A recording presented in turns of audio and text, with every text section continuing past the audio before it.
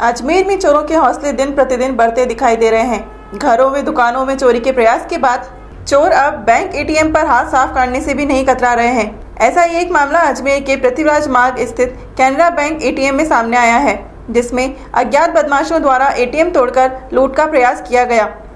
इस वारदात के बाद बैंक मैनेजर की शिकायत पर कोतवाली थाना पुलिस ने मामला दर्ज कर लिया है। मामला दर्ज करने के साथ ही कोतवाली थाना पुलिस ने अज्ञात बदमाशों की तलाश शुरू करते हुए तफ्तीश शुरू कर दी है।